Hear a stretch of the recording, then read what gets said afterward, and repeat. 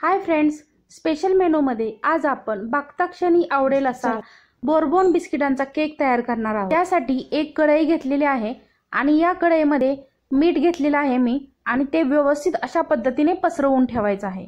मी गॅसवर कढई ठेवलेली आहे फ्री होण्यासाठी. मिठावरती मी कोणताही कोणतंही स्टँड ठेवलेलं नाही आणि ज्या भांड्यामध्ये आपण केक तयार करणार आहोत ते भांडं आपण आता सेट करून घेऊयात.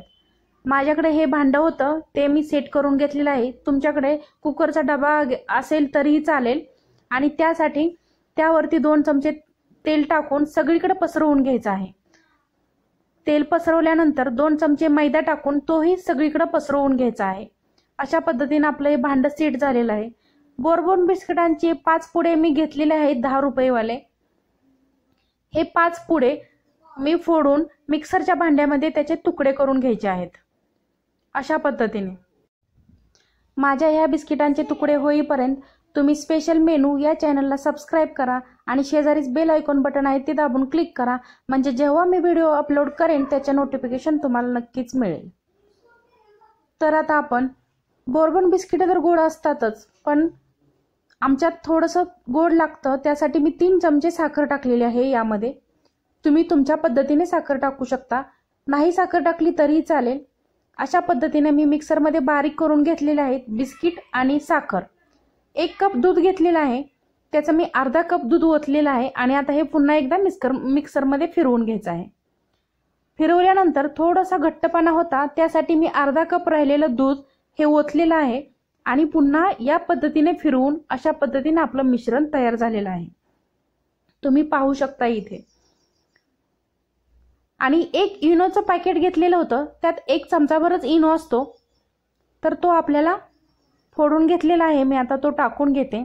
आणि या इनोवरती एक चमचा दूध टाकून घ्यायचा आहे आपल्याला.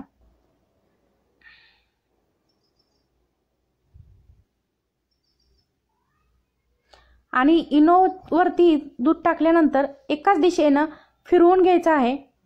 आणि सेट केलेलं भांड्यामध्ये हे मिश्रण आपण ओतून घेणार आहोत. अशा पद्धतीने. आपण हे मिश्रण ओतून घेतलेलं आहे आणि अशा दोन ते तीन वेळा टॅप करून घ्यायचं आहे आपल्याला भांडं. कढई तापलेली आहे त्या कढईवरती अशा पद्धतीने आपण हे भांडं ठेवणार आहोत. तुमच्याकडे स्टँड असेल तर तुम्ही स्टँडवर ठेवू शकता. मी डायरेक्ट मिठावरती हे भांडं ठेवलेलं आहे. कंप्लीट चाळीस पंचेचाळीस मिनटानंतर मी पाहिलेलं आहे. तर आपला हा केक जाळीदार असा तयार झालेला आहे. वरून तर छान दिसतोय. वाव मस्त. बघू शकताय तुम्ही आपल्या टूथपिकला कसलाही केक चिकटलेला नाही. बारीक गॅसवरती मी हा केक पंचेचाळीस मिनिटं ठेवलेला होता. तो आता आपण काढून घेऊयात. गॅस बंद केलेला आहे मी. आणि हा पूर्ण थंड होऊन द्यायचा आहे. थंड झाल्यानंतर याच्या कडा सगळ्या सोडवून घ्यायच्या आहेत अशा पद्धतीने चाकू घालून. आणि प्लेट अशी उलटी ठेवून सरळ करायचं आहे आणि वरून दोन ते तीन वेळा असं टॅप करून घ्यायचा आहे. म्हणजे आपला केक चिकटला असेल तरी तो निघून जातो. अशा पद्धतीने आपल्या बघा खाली तुम्ही पाहू शकता. कसलाही केक चिकटलेला नाही. मस्त जाळीदार असा मऊ लुसलुशीत केक तयार झालेला आहे.